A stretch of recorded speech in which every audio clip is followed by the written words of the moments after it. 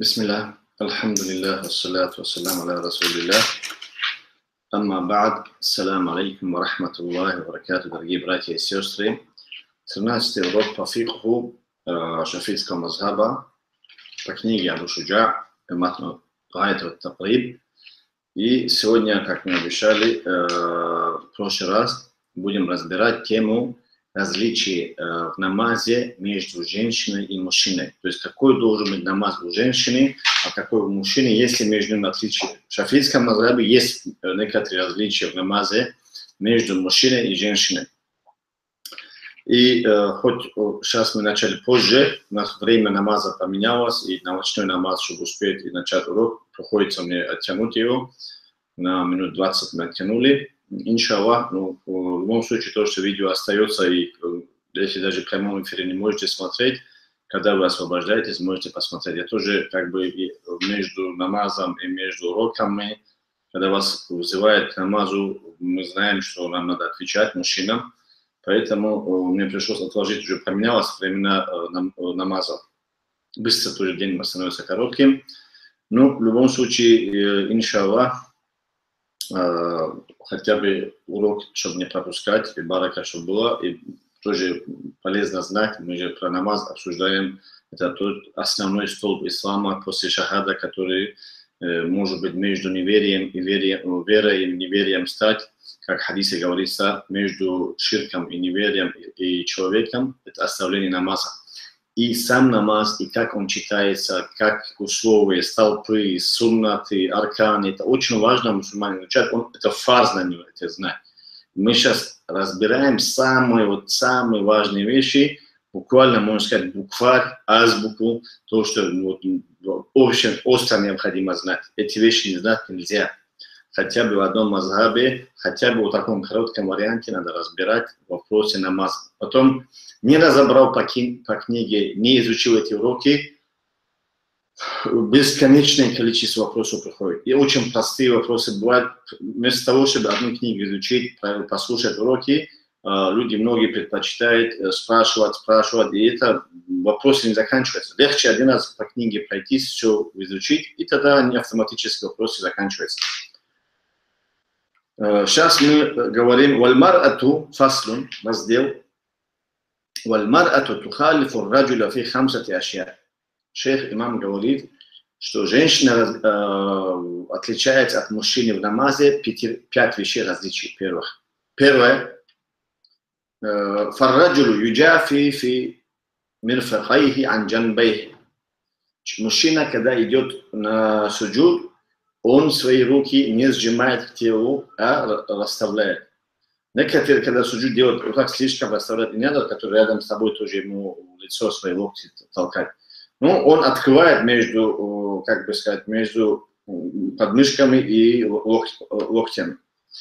Почему? Потому что в хадисе говорится от Абдуллаха ибн Бухайна, ради Аллаху ан, أن النبي صلى الله عليه وسلم كان إذا صلى فرج بين يديه حتى يبدو بياض إبطه Посланник Аллаха, Саласан Абдулла, говорит, когда он читал намаз, он раз, э, открывал как бы между подмышкой и локтями, пока даже мы, мы видели подмышка белизну его кожи.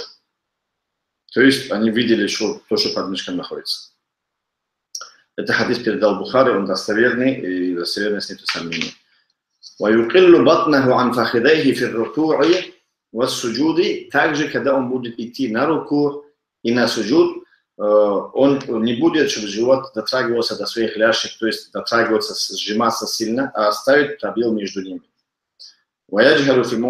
То есть э, также не сжиматься, как колобок, а он идет вперед и раскрывает между животом и э, своими ногами, оставляет пробел. Как также оставляет между подмышками и локтями пробел, так ставит.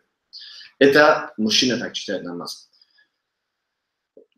Какой далил, если мы это скажем? Хадис есть, который передал Бухари от Аби Хамиди Саиди, ради Аллаху анhu, عن صفة صلاة رسول الله صلى الله عليه وسلم написывал намаз посланника Аллаха وإذا ركع أمكن يديه من ركبتيه ثم حصر ظهره أي أماله وثناه إلى الأرض باستقامة То есть он, когда шел на руку, أمكن يديه من ركبتيه, он держал свои колени, то То есть, Когда на руку шел, он, он держал э, руками колени, и фавада адейхи аля рукватейхи, каннаху кабид алейхима. И он поставил руки свои на, э, именно на, на колени, как будто он их держит.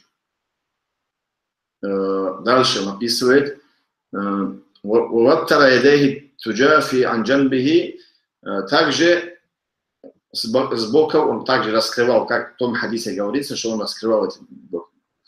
В другом месте Хафсара Захра выравнивал свою спину, не надо горбатиться, слишком поклоняться, должен быть так под углом, то есть держать колени и выровнять спину в наклоне. كأنه قابض عليهما ووتر يديه في تجافي عن جنبه То есть он идет на руку, также между руки раскрывает, держит колени и спину ровно держит. Дальше. «Ваяджхару фи джахри».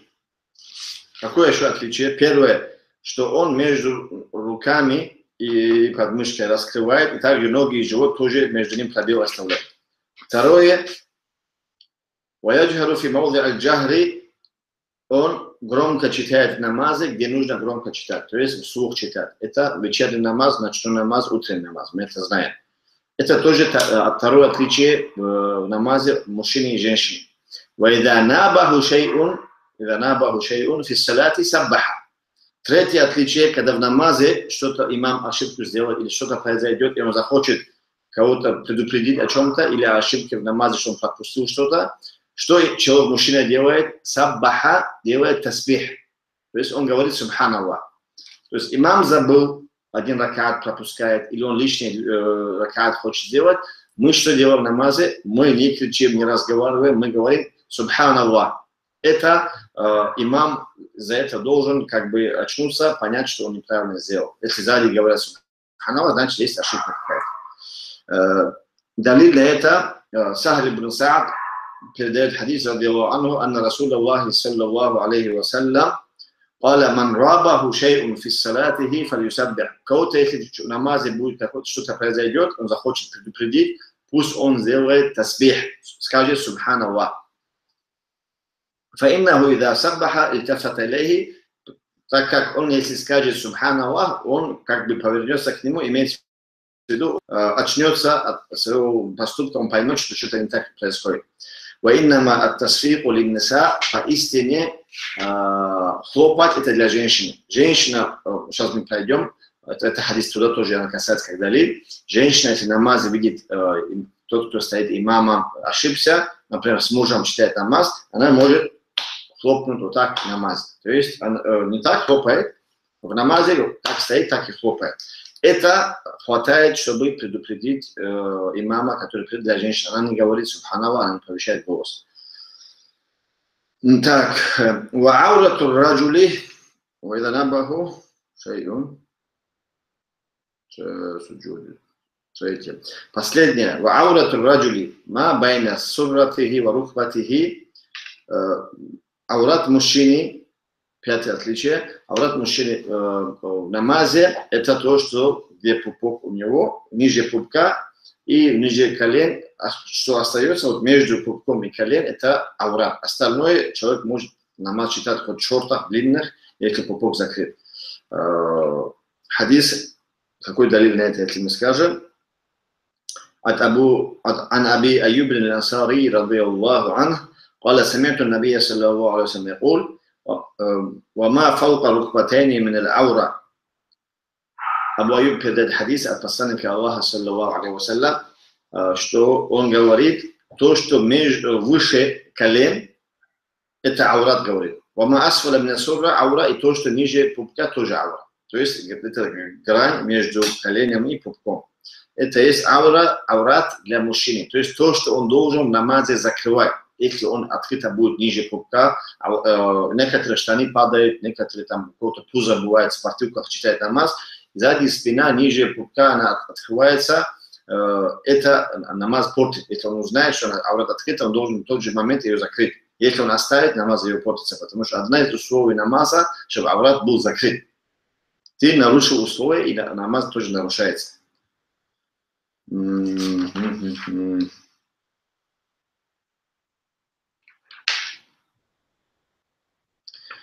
То есть э, ну, пять различий э, мужчина, который отличается. Первое мы сказали, мужчина между подмышками и руками раскрывает. Второе, он между ляжками и животом раскрывает, э, не, не сжимается, клубок не идет. Третье, он от, э, голос повышает, когда читает Магриб или ночной намаз или утренний намаз. Четвертое, э, если он что-то хочет предупредить имама, он говорит Субхана Аллах. Пятое, аурат мужчины между пупком и коленями, сказать. Это пять отличий, которые мужчина отличает от женщины намаз. Э, что делает противоположная сторона женщина? Вальмарату, имам говорит, женщина, тадумму ба'даха иля ба'д, она себя, часть себя сжимает с другой частью. То есть она, если суджуд идет, руки сжимает, ноги сжимает. И тоже э, живот делает так, что он прилипает к э, ногам. وتخفض صوتها بحضرة الرجال الأجانب также, когда есть мужчины есть посторонние, она голос понижает, то есть, чтобы не слышно было читать. Э, первое, э, то, что женщина должна сжиматься в намазе, э, Далиль Шафити взяли, имам Шафитского мазаба ученые, хадис, который передал Байхаки, أنه صلى الله عليه وسلم посланник Аллаха صلى الله عليه وسلم مر على الامرأتين تصليان он прошел, ходил, проходил мимо двух женщин, которые читают намаз, فقال и сказал, إذا سجدتما فضم بعض اللحم إلى الأرض если вы будете делать поклон, то сжимайте часть своего тела, имеется в виду, мясо говорит, имеется в виду свою часть своего тела, или арды к земле, то есть вы сжимаетесь.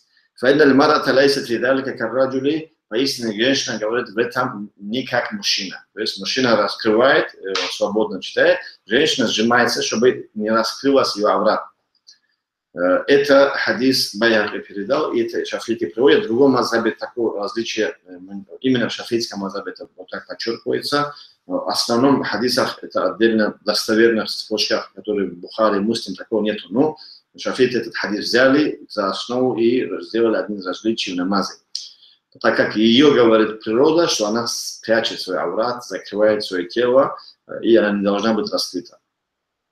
Второе мы сказали, что это она свой голос при посторонних мужчинах голос понижает.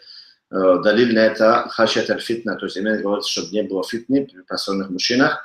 قال تعالى فلا تخضعن بالقول فيطمع الذي في قلبه مرض то есть Аллах в Коране женщинам сказал, чтобы они свой голос э, не делали мягким, чтобы тот, у кого в сердце болезнь, э, у него фитна не получилось, чтобы он как бы не пожелал э, фитны, э, чтобы она свой, голос чуть понизила и не делала таким мягким, там, так, так чтобы человек, у кого сердце болит, чтобы он подумал, что на что-то он претендует. Э, это Аллах в Коране сказал, и вы должны понимать, что посторонний мужчина, хоть даже в намазе, надо стараться, чтобы голос понижать. В вопросе, является ли голос авратом женщине голос авратом или нет, в этом вопросе среди ученых есть разногласия, но более сильное мнение, что не является авратом. Но все равно считается желательным, чтобы он голос понизила, чтобы не получилось так, чтобы э, мужчины посторонние, у кого сердца больные, они не, как бы сказать, сердце, сердце у них фитно не получилось. Так, وإذا نابها شيء في الصلاة صفقت Третье отличие, если в намазе что-то происходит, мы сказали, это уже подчеркивал, она хлопает ладошкой и таким образом дает знать имаму, что он ошибся или что-то забыл, или что-то пропустил, или что-то лишнее делает. Или также, если ребенок э, что-то неправильное делает, женщина читает намаз, тоже это может реально получиться. Ребенок играется, муж может что-то читает, э, где-то он занят, и она в намазе, ребенок делает какие-то опасные движения. Может быть, без электричество играется, или э, там горячие предметы есть. Если она намазе хочет, чтобы муж повернулся и посмотрел за ребенком, она не, опять-таки, не говорит субханаллах, ничего, она хлопает, и это дает знать мужчине, что что-то не то происходит, и он может заметить женщину, ребенка или что-то другое. Дальше. وجميع بدن الحرة ауратун илля ваджаха ва каффайха. И мужчине мы сказали аура между пупком и э, на коленами. А у женщины все ее тело является ауратом, кроме лица и рук. То есть, кроме лица и рук в намазе, у женщины все тело является ауратом. Если часть этого тела открывается, намаз не считается действительным. И часто мы заметили некоторые традиционные, так называемые мусульманки, которые очень пренебрежительно относятся к своей религии и не знают ахкамы религии, как намаз читать, они там сверху косинкой закрывают и читают намаз. Или волосы здесь торчат, зады торчат, или шея видна. Это намаз считается недействительным, он не принимается. Потому что это условие, что ты закрыла все тело, кроме лица, лица и руки. Даже нельзя, чтобы хамис был такой широкими рукавами, чтобы ты, когда поднимаешь, чтобы она падала, и это аврат открывается. Это, вот эта часть тоже аврат для женщин считается. Она должна быть закрыта. Будь это в намазе, или на улице, на базаре, или она что-то работу делает, на, там, где посторонние мужчины, она не имеет права раскрывать вот эти свои локти, руки дальше кистей.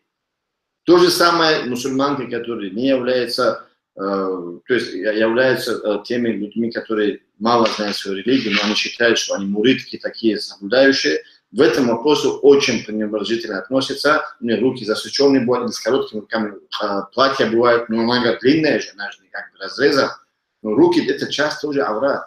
Шея тоже аврат. Назад поток привязывает. Это, это не мусульманская одежда. Традиционная, как угодно называем, но это ни в одном мазхабе это не дозволяется. Спросите ваших имамов, которые вы считаете уважаемым и слушаете, дозволяется ли открывать женщине шея, или отсюда волосы, или сзади, или руки, или ноги, часть там, чуть выше, э, есть голени открывать это почти у всех это открыто будет. Это харам, и это дело проклятое дело, так выходить из дома. Это у человека намаз тоже не принимается в таком виде. И, конечно, имамы очень пренебрежительно относятся к этим вещам. Они должны на мимбарах говорить, что свои муж, мужья, свои жены закрывали нормально. Ни в одном мазхабе, кроме рук и лица, чтобы дозволяло что-то раскрывать, такого вообще нет в шариате.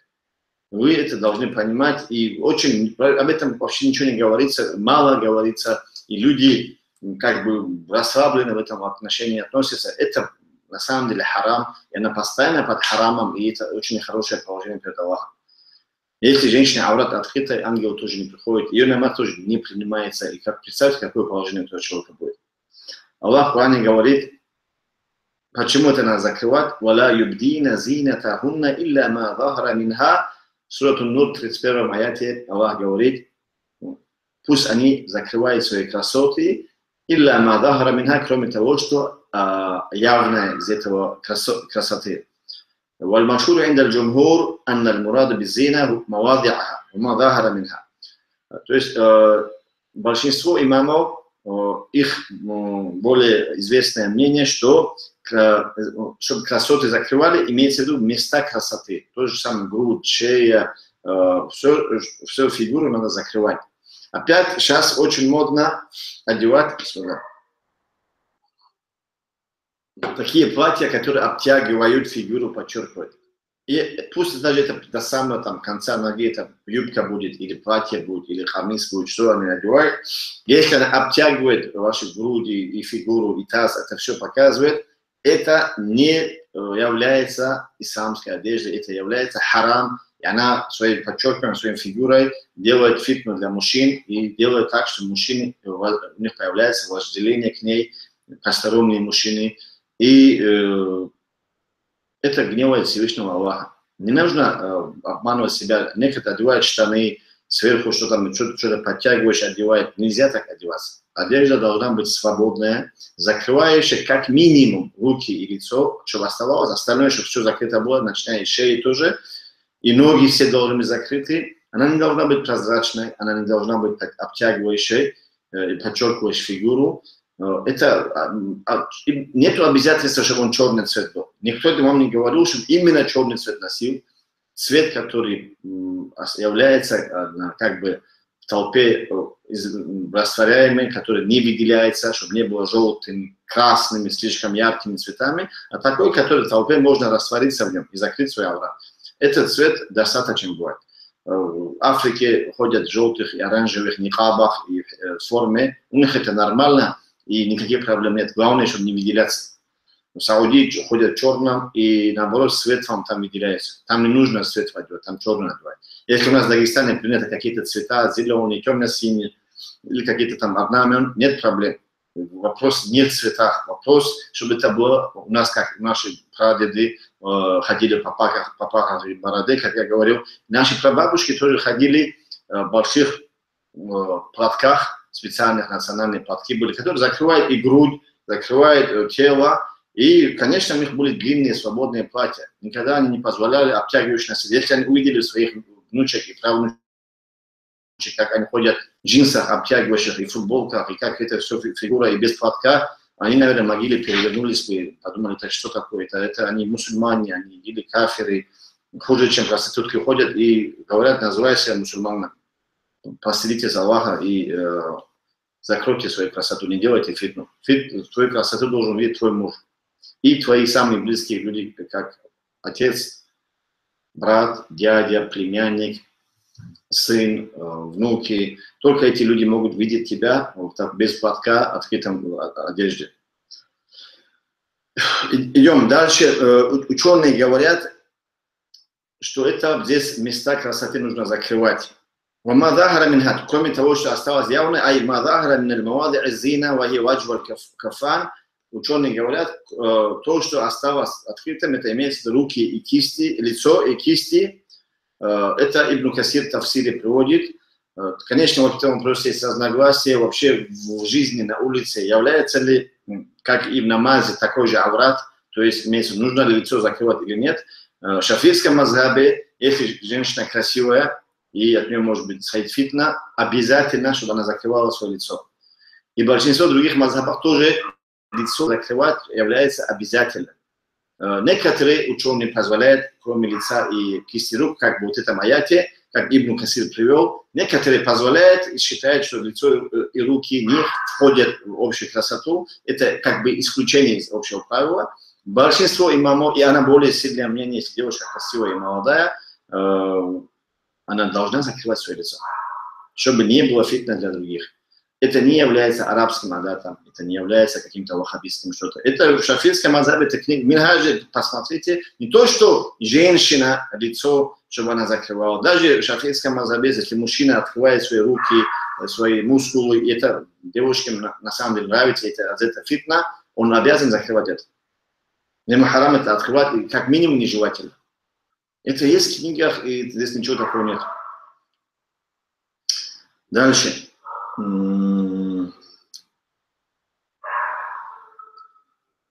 أم سلمة передает حديث رضي الله عنها أنها سألت النبي صلى الله عليه وسلم أتصلي المرأة في درع وخمار может ли женщина читать намаз в платье длинном и платке? Лейса алейха изар, еще на нее не будет как бы изар, а изар, как раньше было, как юбка или вот как мазицы, индонезийцы носят, вот так привязывает внутренняя одежда, имеется в виду, сейчас штаны бывают, внутри одевают широкие шаровары, что-нибудь. Раньше, как юбка, нижняя часть одежды была, и мужчины носили ее, и женщины носили.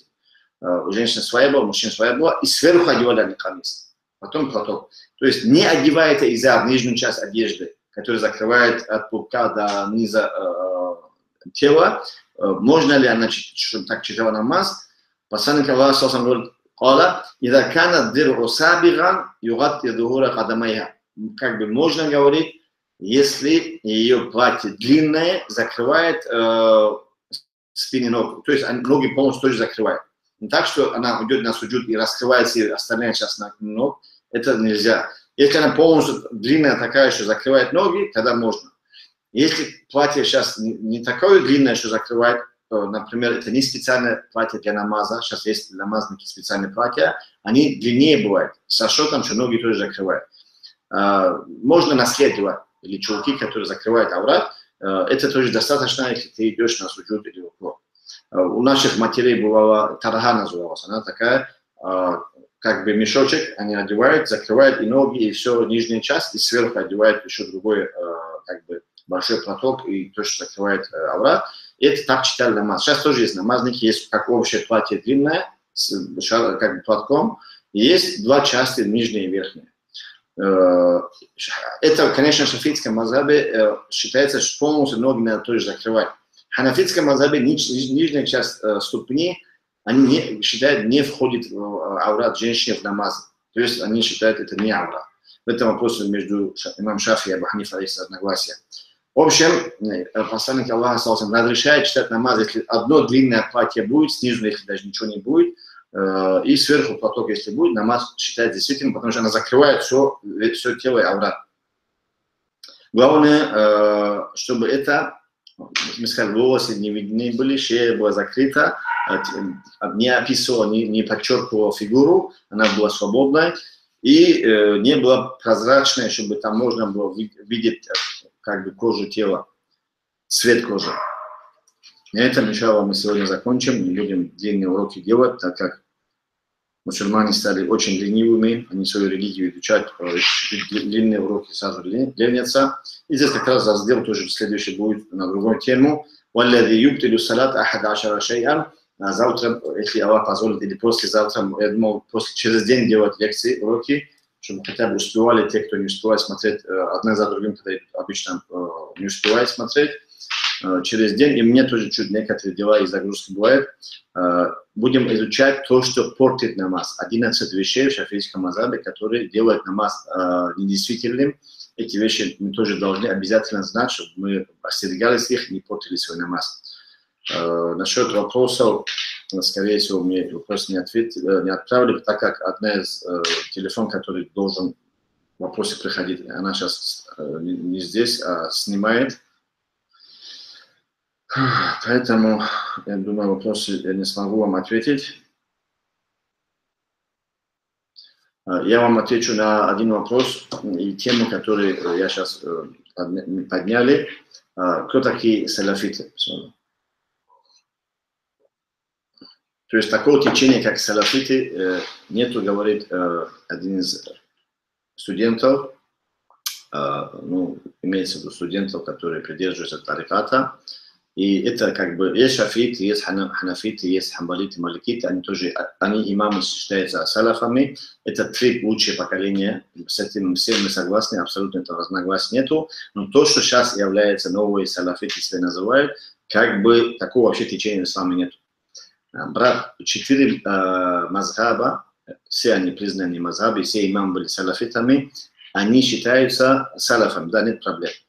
Но ты говоришь, что шафиты есть салафиты, так как нет, шафиты не являются салафитом. Мы говорим, нет фих, течения фикхе. Салафиты не являются течением фикхе, пятым течением э, шариатских вопросов фикха.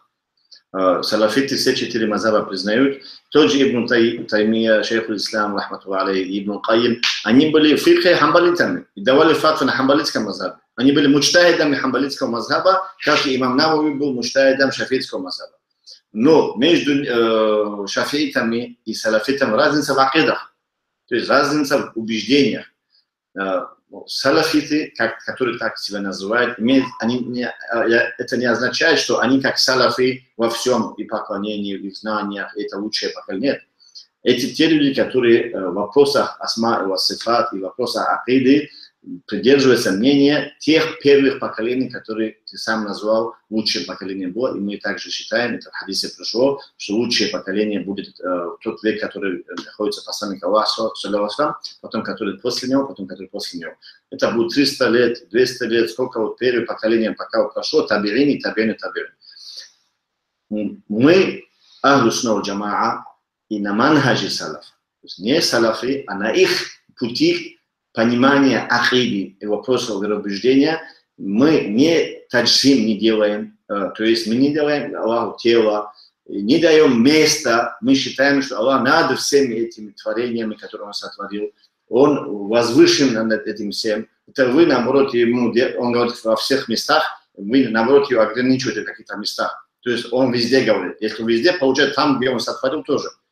Он выше всего этого мы придерживаемся именно мнения имама Шафи'i, имама Ахмада, имама Малика и Абу Ханифы, что бедуни ташби, валя та'атил, валя таджсиб, мы это эти тауили, которые сам посланник Аллаха или эти салаф салих, праведные предки, и эти четыре имама не делали, мы тоже не делаем.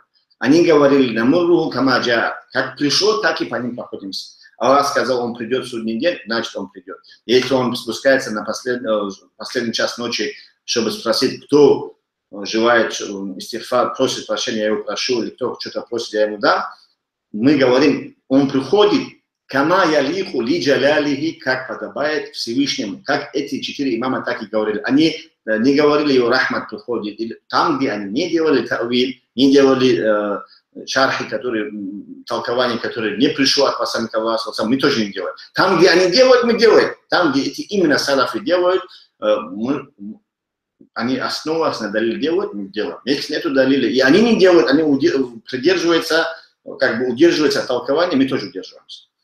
Те халяфы, которые после пришли, попытались все эти вещи э, растолковать, э, как бы делать э, тауили, мы говорим, мы не делаем тауили. И, но мы не делаем тачсин, то есть мы не говорим, что рука Аллаха, как рука человека или чего-то, кого-то, лейса камисли хишай, он вагу самин алим, это я тоже читаю, мы знаем, что нет подобного ему. Если ты чего-то представил себе про Аллаха, Аллах как раз противоположно этому.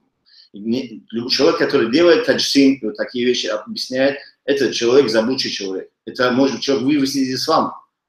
И ни один, как вы говорите, или ваххабист, или салафи, такие вещи не делает. Если он делает, он сам заблудший, мы сами от него предостерегаем. Мы говорим, все четыре имама и сподвижники и табирини, там, где они не делали тавиль, если они говорили, как имам Малик, истива ма'лум, что Аллах возвысился над троном, это ма'лум. Истива, ее смысл дали, утвердился, возвысился, салафи дали, самые лучшие люди. Они сифат та'тиль не делали, не аннулировали. Не говорили, что везде. Кто из салафов, сподвижников говорил, что Аллах везде? Аллаха знание и могущество везде, потому что Аллаха везде нельзя. Аллах возвышен над всеми творениями своими. И э, Аллах сам сказал, что он, он возвысился над своим троном. И все салафи так и говорили. И имам Малик говорил, истива ма'лум, это известно, потому что не об одном аяте, а многих аятах пришло. Рахман Аль-Аршистава. Аллах сказал это. Это не я сказал, это не Ибн Таймия сказал, или другой. Это все имамы, все так и понимали. Другой вопрос, Кейф маджгуль, как, не знаем, и ни один салаф не может тебе объяснить, как. Они не питаются, и нельзя так делать. То есть попытаться объяснить толкование, как Всевышний Аллах возвысился на троном, ты не, не можешь, потому что он не описал это. Имам Малик говорит, кейф маджгуль. Иману бихи ваджиб, в это верить мы обязаны. Если ты будешь отрицать, что Всевышний возвысился над, над Аршем, ты кафиром становишься, неверным становишься. Почему? Потому что ты отрицаешь Коран, слова Аллаха отрицаешь. Кто ты такой это делать? И спрашивать, как и копаться в этом, является беда. Имам Малик так и сказал. И ты, ты говоришь, тоже заблудший датчик и прогнал его. Вот так мы это понимаем. Если бы вы тоже так же понимали, бы вообще разногласия снялись большинство. И мы говорим те же самые истираса, э, салафи не делали и не разрешали. Ни в одном книге имама Малика или Ахмада или Шафа или Абу Ханифа ты найдешь масала, что истираса разрешено. И нигде не найдешь, что они говорят Аллах везде. Если можешь, покажи. А противоположное, что Аллах, они утверждают эти сифаты как есть, и они говорят, что намуру камаджаа, верим, как пришло, без кейф. Это сколько хочешь можно показать с книг Салафа, из их слов. И э, книги имам Ахмада я читал, дальше Музани и другие буду читать. Вы э, тоже читайте их. Не нужно халяфов поздно книги читать и людей заблуждение вводить. Э, салафы, мы называем себя на манхаджи салафов, вопросах этих акиды, что мы не таапил, не э, ташбих, не таавил не делаем там, где они не делают. Но нам далеко до таких людей, которые 1200 лет назад, 400 лет назад были они лучшие люди нашей уммы, и их уровня никто не достигнет. Ни в богобоязненности, ни в праведных делах, ни в знаниях, ни в понимании религии, ни в адабе, ни в чем. Э, так, если взять в прямом смысле слова салафи, конечно, их нет. Они уже ушли, лучшие люди, по крайней ушли. Но, э, как имам Шафи говорил, «Ухиббу салихина, валасту минхум», у него ши'р есть, который говорит, что «Я люблю салихов, праведных людей, но я не из них».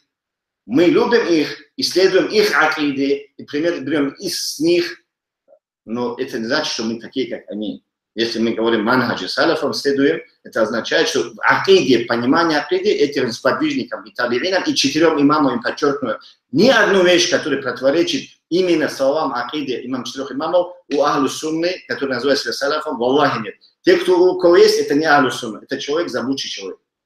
Мы не берем э, свои знания только Мухаммад Абдухаба или э, шейх Ислам. Если эти, эти два имама говорят то, что противоречит словам им четырех имамов, мы не берем ее. И мы считаем, что они до них, чтобы дошли, им еще далеко и далеко.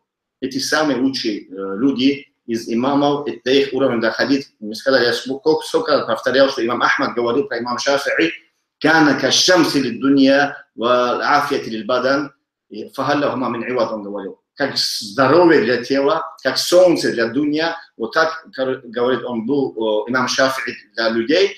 Смотрите, говорит, если замена этому, здоровье ничем не заменить, и солнце не может на небе никто, ничего не заменить.